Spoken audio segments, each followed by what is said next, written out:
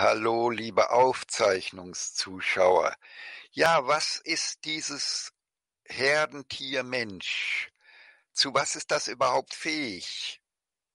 Es geistern viele Theorien herum und Ideologien und Irrtümer und vorteilbringende Irrtümer, die also den Menschen also als einen selbstlosen, sich selbst aufopfernden Samariter sehen, der äh, sich auch äh, für die Wahrheit sozusagen äh, mit allem überwerfen würde und äh, und so weiter. Äh, und all das stimmt halt leider nicht, ja. Äh, der der Mensch ist ein Herdentier, dem es in erster Linie wichtig ist, ohne anzuecken, gemocht und geschätzt in der Gruppe zu sein und wenn er dafür äh, Unwahrheiten mitsingen muss, dann singt er Unwahrheiten mit, weil die Wahrheit oder Unwahrheit spielt einfach gar keine Rolle im, äh, im He beim Herdentier Mensch. Ja? Und, und dann die Vorstellung, dass der Mensch ein Tier sei, das im Gegensatz zu allen anderen Tieren eine natürliche Veranlagung hätte, sich für die Welt aufzuopfern diesen Denkfehler haben wir auch versteckt in der Gemeinwohlökonomie, als ob es äh, sozusagen das Anliegen je eines gesunden Menschen sei, mit seinem Geld und mit seinen Gütern die Menschen in der dritten Welt zu ernähren und dafür zu sorgen, dass diese noch mehr Kinder, die, äh, die nicht richtig arbeitsfähig sind, in die Welt setzen können. Diese Vorstellung ist einfach verrückt, ja. Die Realität ist, jeder Mensch, jedes Tier, jedes Lebewesen versucht nichts anderes als seine Gene zu maximieren und zwar auch natürlich in Blick auf die Zukunft hin. Denn es nützt ihnen nichts, Gene zu maximieren, die nach zwei Jahren schon tot sind. Sie müssen Gene maximieren, die möglichst noch 100 Jahre leben und dann noch wieder weitere Kinder oder Kopien ihrer Gene verbreiten können. Und darauf sind Menschen programmiert, es sei denn, sie werden durch Manipulateure dahin manipuliert, äh, durch Parasiten, durch äh, Schmarotzer, wie wir das in der Biologie haben, Parasiten, Parasitismus in der Biologie, Schmarotzertum in der Biologie. Da ist es quasi so, dass äh, die, äh, die Schmarotzer und Parasiten in die natürliche Eigennutzsteuerung und Gen, eigene Genvermehrungssteuerung und Tendenzen eingreifen, die Organismen davon ablenken und sie dazu bringen Manipulationsopfer und Diener und Dienstmägde der Parasiten und Schmarotzer zu werden. Ne?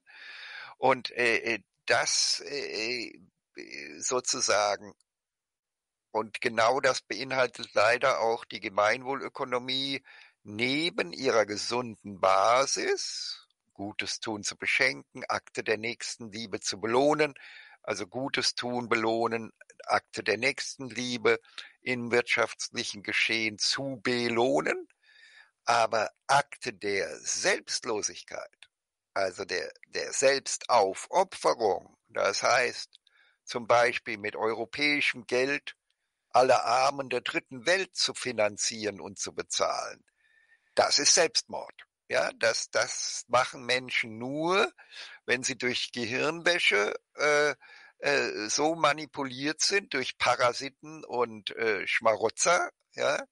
Und äh, was ist dabei das Entscheidende? Wer ist da, da wer sind die entscheidenden Schmarotzer im Hintergrund? Naja, die einzigen, die profitieren, wenn Europa sich verausgabt und verarmt um die Menschen in der dritten Welt zu finanzieren und dafür zu sorgen, dass dort noch fünf Milliarden arbeitsunfähige Menschen äh, äh, geboren werden. Ja? Das geht nur, die einzigen, die davon profitieren, sind die Sozialspartler. Also die einzigen, die an einem verarmenden Land profitieren, sind die Betreuer der Armen. Ne? Und, äh, äh und so haben wir dann die Sozialsparten, die also die vorteilbringenden Irrtümer ausstreuen, es sei die Natur des Menschen, sich selbst aufzuopfern, um die ganze Welt zu finanzieren und zu retten und zu ernähren und so weiter. Und wenn die Leute diesen Manipulationen dieses Parasiten, dieses, dieser Sozialschmarotzer, dieser, dieser Schmarotzer, äh, Sozialsparten und diesen Parasiten Sozialsparten, wenn die Menschen sich da manipulieren lassen, dann wird Europa bettelarm und dann haben die äh, Sozialsparten ganz viel neue Kunden und Kundschaft und so weiter. Bis dann diese Staaten dann zum Beispiel, die europäischen Staaten, gar kein Geld mehr haben, die Sozialsparten zu bezahlen, aber dann können die ja in andere Länder abwandern und diese dann plündern mit ihren vorteilbringenden Irrtümern. Ja, ja also insofern, das Herdentier Mensch hat gar keine Orientierung an Wahrheit und Irrtum. Leider. Natürlich müssen wir trotzdem versuchen, immer wieder die, die, die menschliche Gesprächskultur zustande zu bringen, die Ideale, nämlich sagen Sie uns, wo wir uns irren, und dann sagen wir Ihnen, wo Sie sich irren. Aber das Herdentier Mensch hat erst einmal nur die Tendenz, Scheiß auf die Wahrheit, Scheiß auf die Frage Wahrheit oder Irrtum, mitlaufen und geschätzt zu werden von der Herde, auch wenn die sich in einer Unwahrheit befindet, ist wichtiger als auf der Wahrheit zu bestehen. Ne? Und damit müssen wir, müssen wir leben, denn äh, äh, so sind nun mal soziale Lebewesen. Ne? Und wir können froh sein, wenn die obersten, intelligentesten, die obersten Eliten dieser Welt, die Wirtschaftsbosse, Politikbosse, Journalistenchefs äh, und und eben Wissenschaftschefs wie Weltrat und Next Scientists for Future, wenn die miteinander ins Gespräch kommen und sagen, jetzt versuchen wir mal, sagen Sie uns, wo wir uns irren, wir versuchen jetzt mal gegenseitig die Menge der Irrtümer zu reduzieren, um zu einem realistischen Bild der Zukunft der Menschheit zu kommen. Das ist äh, dann wohl unsere einzige Chance. Ja, ich be tschüssi, beende, ich beende die Aufzeichnung.